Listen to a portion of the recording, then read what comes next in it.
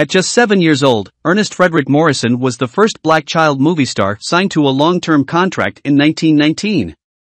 He was paid $10,000 a year, making him the highest paid black actor in Hollywood at the time.